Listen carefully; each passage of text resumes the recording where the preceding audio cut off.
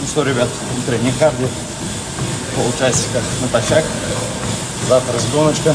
Такая вот у нас атмосфера. В зале бегаем. Алхамдулилlah.